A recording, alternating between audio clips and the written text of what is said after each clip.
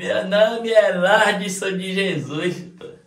A galera me chama mais de Lard. Desde a época que eu nasci, que eu já fui carregado no colo e ia chamar de Lard já. Tinha uma época da minha vida também que eu aprontava que só miséria, pô. A época antigamente não era igual hoje em dia que nós ia pro mato caçar com o celular na mão não. E eu tinha eu mais, mais um comparsa. E nós todo dia nós ia pro mato caçar. Nós fazia aqueles badog estilinho que o cara pega assim. Nós caçava era lagartixa, passarinho, rato, barata, aranha, escorpião, etc. Aí, uma certa vez, nós no meio do mato, aí nós não tinha muito essa crença de acreditar nessas coisas não. Nós no meio do mato, ele desgraça. Olha, eu até me arrepio só de me lembrar. Ele desgraça, desgraça, desgraça. Três vezes. Quando ele falou da terceira vez, meu amigo que apareceu um bicho feio da miséria na nossa mão. Aí, aí o bicho apareceu e nós não sabíamos quem era, que nós não tínhamos entendimento das coisas. Aí você me chamou, aí eu rapaz, eu não chamei ninguém não. Aí ela falou, ah, pois não foi você que me chamou não, quem me chamou foi o de cá. Aí o de cá, nós se olhamos um culto assim, e aí ficou assim, rapaz, será que essa bicha é a desgraça? Aí pouca hora assim nós pegou o badog e quando pensa aqui que nós fez assim, a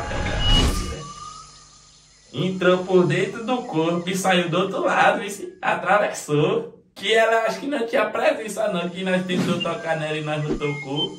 Aí aquela ventania forte no meio do mato. E a, pra minha sorte foi que eu segurei na árvore assim, ó, que o vento tava me, me levando. Aí eu segurei assim o, o tronco da árvore. Aí pouca hora nós olhamos assim, já tinha saído já. Aí eu falei, rapaz, aquela desgraça. Olha, oh, vou nem falar esse nome aqui pra não aparecer de novo. Engraçado é a galera que fala lá de você é feio. Antigamente não existia esse negócio do cara ser feio ou cara bonito, não. A aparência tava dentro da pessoa, não era por fora, não. Tinha uma época que eu, eu tinha uma namoradazinha. Era, eu era apaixonado pelaquela mulher. Aí nós, nós namorava, toda semana nós dava um selinho. Porque hoje em dia o cara, na primeira, no primeiro encontro que tinha o cara já, já faz negócio com a mulher, já perdeu respeito já. Antigamente, para você ver a cor da calcinha da pessoa, você demorava uma eternidade. Hoje em dia que você tiver o Instagram, você já vê a mulher nua já. A mulher toda pelada, só com a marquinha de fita. Mas também eu não vou mentir que eu não gosto também, né? Eu gosto que as coisas evoluíram, nós temos que evoluir também o pensamento também, né? Mas eu tinha essa namoradazinha, aí o pai dela não sabia que nós namorávamos, não. Aí teve uma vez, rapaz, que eu marquei de encontrar com ela. Aí nós fomos lá, né? Quando nós chegamos lá, ela já foi de saia nesse dia. Aí a mulher assim, quando vai de saia, antigamente eu não tinha essa maldade de saber. Que quando a mulher vai de saia, ela já vai na intenção de. Aí eu nunca tinha essa maldade dela que ela tinha ido de saia. Aí ela fala assim, você percebeu? Eu falei, o quê? Eu vim de saia.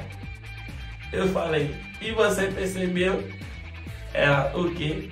Eu vim de calça. Aí nós ficou assim, olhando assim, ela falou, não é porque eu quero fazer amor com você aqui na rua já. Eu falei, aqui na rua. Ela falou, é porque eu nunca fiz essas coisas, não quero fazer primeira vez com você. Meu nome é Jack Mofob, mais conhecido como Jack. E tinha uma namoradinha que todo dia de semana ela dizia que ia trabalhar, ia estudar de manhã, ia trabalhar de noite. Até que um dia eu segui ela, né? Aí quando eu chego lá no lugar lá, tá ela mais um cara lá, um cara esquisitinho, feio assim, usa uma touca pra trás assim, um, óculos assim estranho. numa esfrega-esfrega. E eu percebi que ela tava de saia e ele já tava meio que desensacando assim, tirando. Quando eu tava em ponto de tirar meu cinto por completo, adivinha quem chega? O outro rapaz que ela namorava também, olha. Aí eu cheguei assim, perguntei quem era ele. Aí eu falei, e quem é você? Eu falei, eu sou Jack. Aí eu falei, e eu sou Lorde. Aí nós trocou o cacete retado. Bati nele tanto que nunca mais ele apareceu por lá, pô. Aí depois desse dia que eu quebrei ele no pau, nunca mais eu vi ele. E ela todo dia mandava mensagem pra mim, Lorde, aquele rapaz eu não conhecia ele não. Ele não era nada meu não, Lorde. Mas eu descobri que ele também namorava com ela. Aí ela teve três filhos. Aí o rapaz, meu desse aqui não parece comigo não.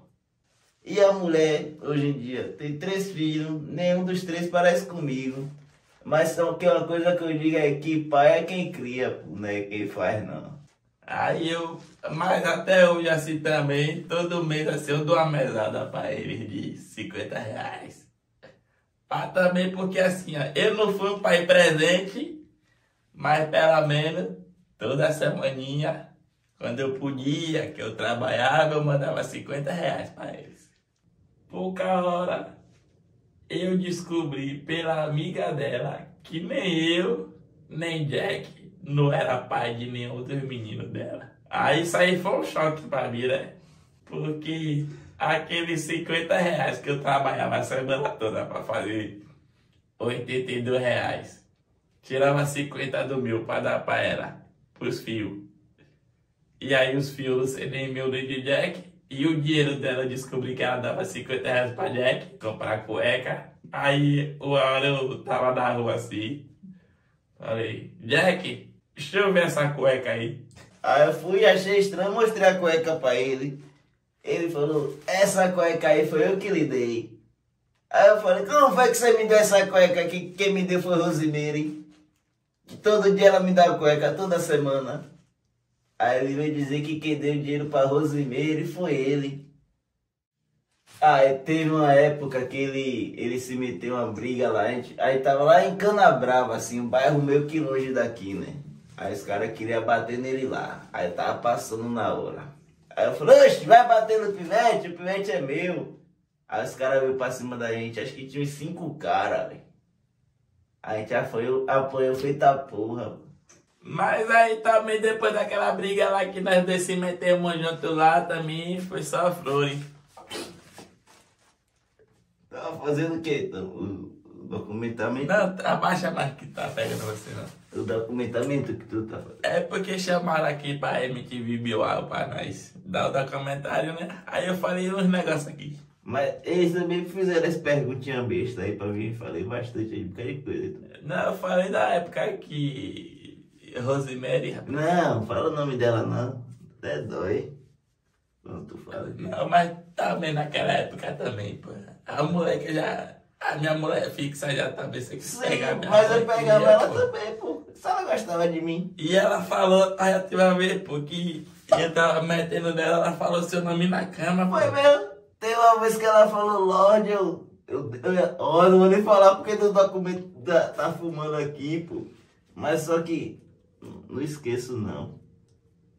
Não, mas pra mim aquilo ali, pra mim ali, tirou meu chão ali. Quando eu, eu tava metendo nela, ela falou, lá, Jack, no meio do nosso ato, olha como o menino fez. Caiu na hora. Oxe, tá maluco? Mas ela é uma mulher ali que, se ela falasse pra mim, ó, que volta, eu volto uma porra. Eu também volto a caceta. Agora que já tá toda fudida, quer me dar?